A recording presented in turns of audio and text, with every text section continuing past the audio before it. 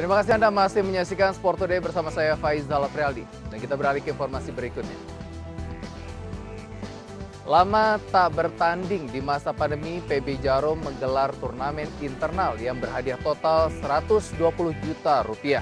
Bertajuk Liga PB Jarum 2020, pertandingan bergulir di GOR PB Jarum Kudus, Jawa Tengah. Dan untuk mengikuti protokol kesehatan, pertandingan digelar tanpa penonton.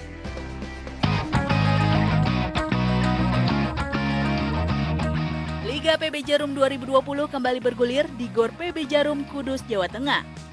Demi mengikuti protokol kesehatan, pertandingan digelar tanpa penonton.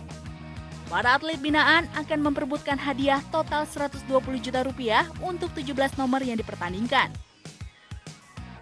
Berbeda dari perhelatan sebelumnya yang hanya mempertandingkan kategori perorangan, tahun ini kategori beregu turut dipertandingkan. Program Director Bakti Olahraga Jarum Foundation, Yopi Rosimin, menyatakan format beregu yang baru kali pertama digelar perlu dilakukan guna menguji daya juang setiap atlet. Karena kita menganggap bahwa atlet-atlet muda sejak usia dini itu perlu dibiasakan untuk apa namanya e, bertanding secara beregu. Karena dasar dari pengalaman pengalaman para legenda Indonesia itu mengatakan antara turnamen bergu sama turnamen individu itu jauh berbeda. Okay. Pressure-nya jauh berbeda. Kita mau mencoba agar sejak uh, atlet usia dini, usia masih muda juga mengalami hal itu.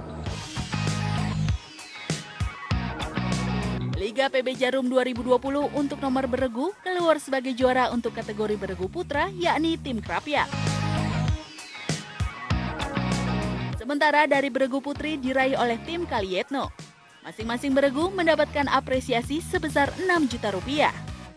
Liga Jarum 2020 masih terus berlangsung mempertandingkan nomor single dan double. Tim Liputan Sport Today.